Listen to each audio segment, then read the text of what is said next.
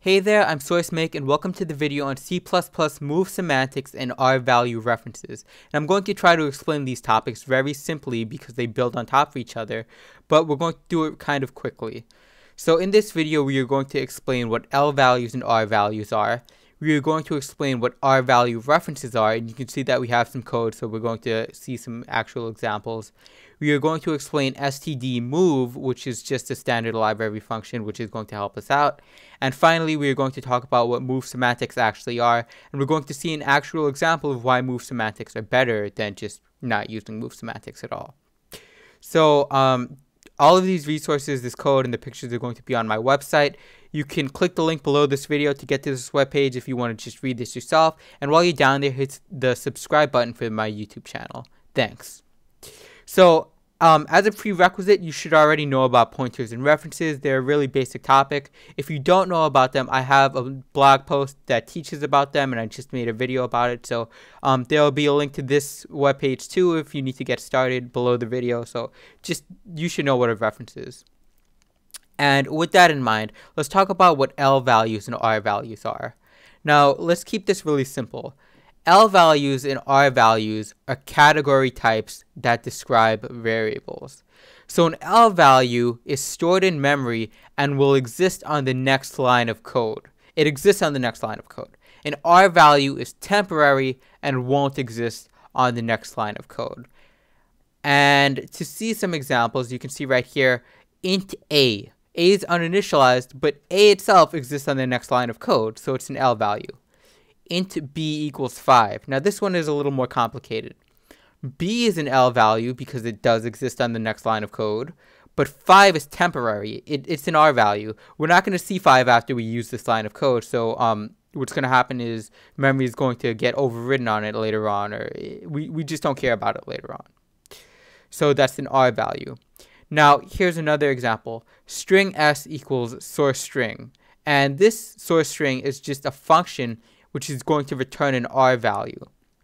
So this is going to be temporary, and that's why this is an R value, and S is an L value because it exists on the next line. Now we're going to go into this in detail in the next section, so don't worry about that too much.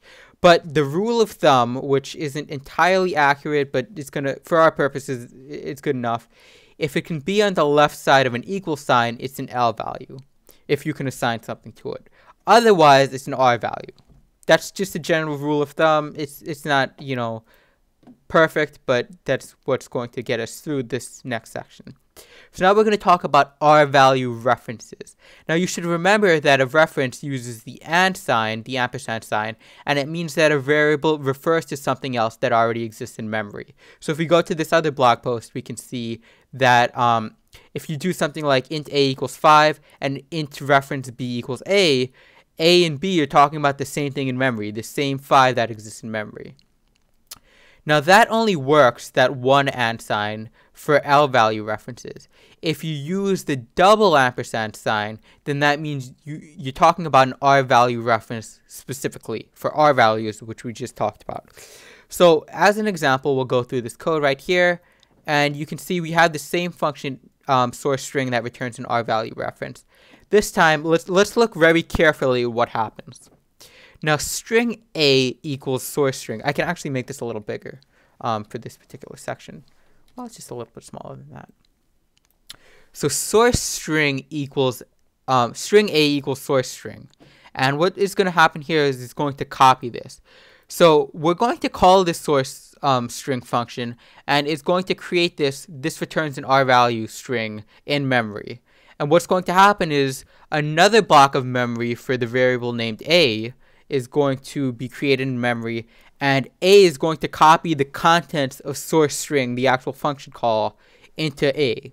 So um, remember, we, we have two copies here. We have copy um, of source string, which is temporary, and then we have the actual block of memory for string a, which is going to copy the contents of source string into it. That's the non-reference way. Now, if we look at this other line of code, string ampersand ampersand b, which is the R value reference way, we are also going to call source string, but this isn't going to do a copy. So what's going to happen is source string is going to return this string, this returns an R value, this string right here in memory. This is going to be allocated in memory. But what's going to happen is B is going to say, you know what, I'm not going to initialize my own block of memory for the string B. All I'm going to do is refer to the same block of memory that source string is talking about. So there's no actual copy going on for string B. It's just saying B is going to refer to the same source string that exists right here. And that's an R value reference. Remember, this is an R value reference. And that's a really powerful concept. Remember, you can still do editing to it because it still exists in memory and you can still call it with B, but we're not doing the copy this way, which is more important, which is really good. So that is R value references. You just use this sign and you're talking about a reference to an R value, which is just a temporary value, which normally wouldn't exist on the next line of code. Now, std move is the next thing we need to talk about. std move is a standard library function from, you know, std, which is going to take an L value or an R value and is going to cast it to an R value. So no, matter, so no matter what, it's going to cast it to an R value.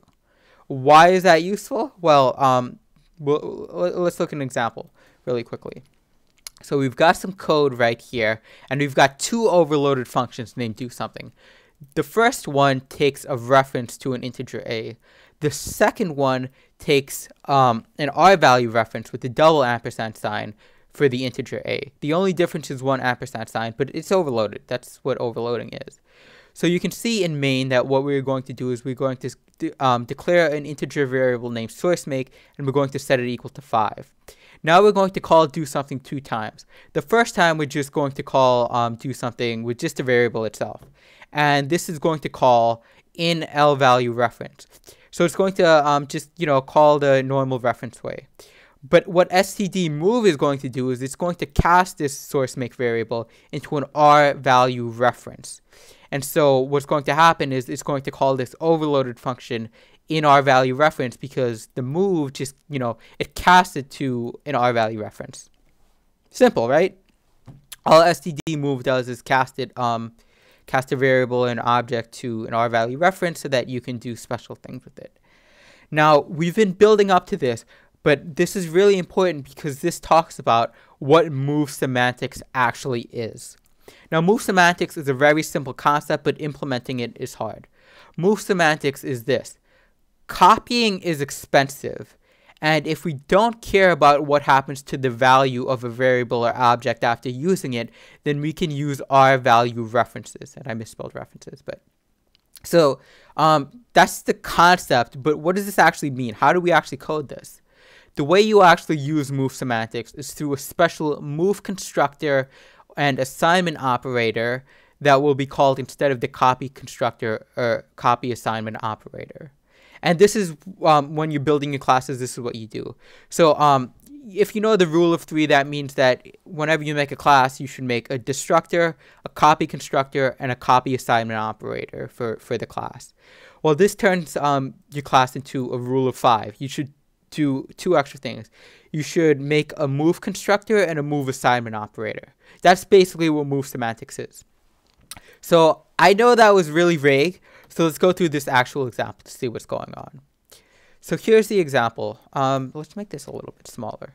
Can we make it even smaller than this? Yeah, you can kind of see what's going on. Okay. So here's what swapping by copy looks like. Um, and I know it's a little small, but it's okay.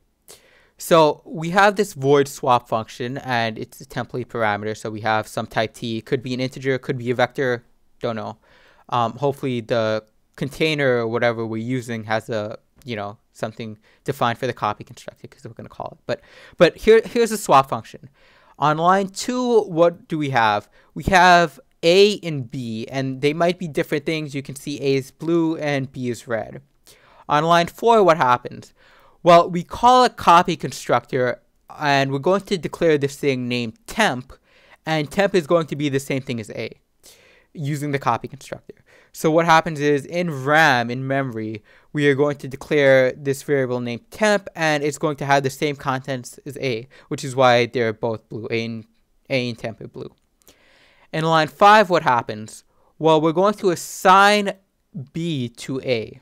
I don't know if that's the right way to say it. But but basically whatever is inside of A is going to be whatever is inside of B. So A is going to be a copy of B. So A is now red. And the next line in line 6, B equals temp.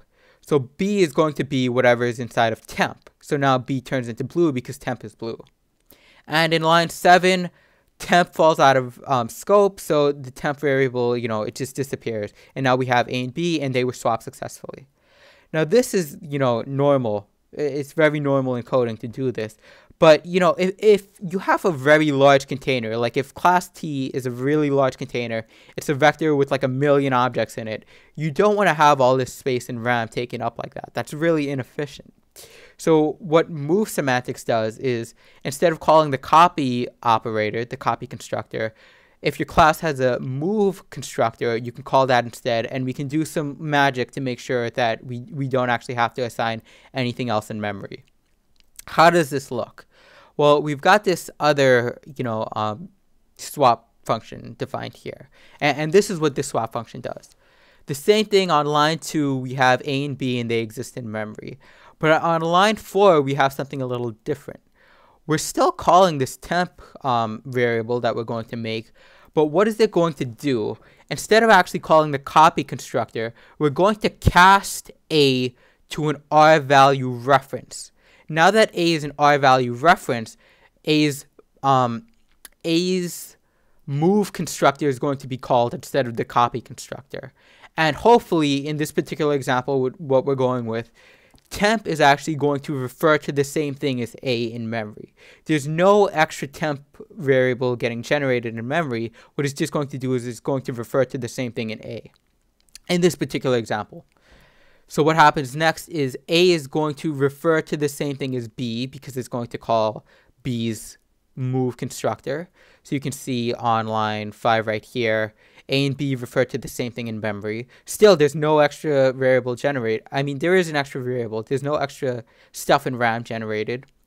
Then in line 6, B is going to call the move constructor for temp. So B is going to refer to the same thing as temp, which in this case is this blue stuff right here.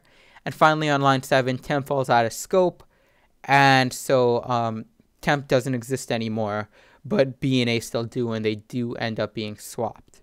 Now, you can see in this example, it depends on the implementation of the move constructor. That's what I'm telling you. But this is kind of what move semantics is. Instead of copying, which would normally be expensive by calling the copy constructor, you call the move constructor or the move assignment operator, and you don't really care about what happened afterward, or you do some hand wavy magic, but you can do things more efficiently than you would by just copying. And it doesn't have to be a move constructor or move assignment operator. Maybe you could have some like special operators like a plus function that implements move or you know R value references. The whole point of move is you, you kind of either want to do something special or you don't care about what happens to the variable afterward. Um, and, and yeah, so I know that was kind of a lot to take in, and it, it's still kind of vague, even though we went through an example of why it would be better. The way we're going to actually learn this is in another video, we're going to implement um, our own vector class by implementing the rule of five, and that'll teach us how we can actually write some code with move semantics in mind. So I'm going to make a vector class and, and show the code in another video. So make sure you hit the subscribe button um, to see that. Hopefully you like this video. If you do, leave a comment. And I'm sure some people are, are C++ experts and, and, they're yelling at me, no, that's not what an R value is. R values are different or, or we're talking about things differently here. If you are like that and you see a problem, leave a comment. You can read the comments and hopefully you can teach each other. But for an introduction, this should explain what um, move semantics is because when I looked at the resources online, I didn't see anything that really helped me. But but hopefully this helps you at least get into the topic. So I'm srcmake. Make make sure you uh, subscribe, leave a comment and like, and thanks for watching.